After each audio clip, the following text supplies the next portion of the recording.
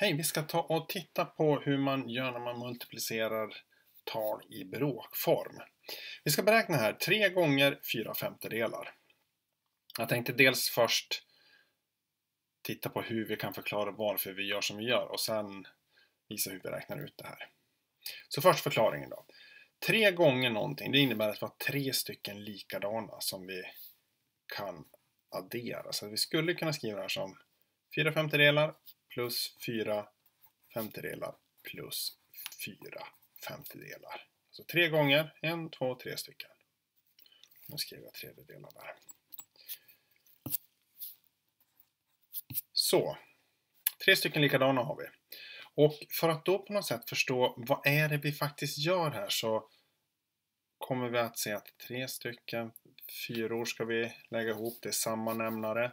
Så vi tänker addition och bråk, har de samma nämnare? Så kan vi skriva dem som 4 plus 4 plus 4 i täljaren. Men tre fyror som vi lägger ihop, det är ju samma sak som 3 gånger 4. Och nämnaren behåller vi. Så det här är förklaringen till varför vi gör som vi gör. Alltså tre stycken har den där. Samma nämnare kan vi skriva ihop täljarna och det kan vi också då formulera som en multiplikation.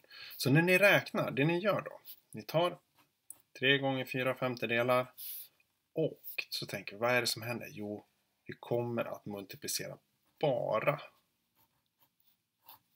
täljaren. När vi har ett heltal, 3 gånger ett bråk, 4 femtedelar. Så det är bara täljaren vi multiplicerar med heltalet.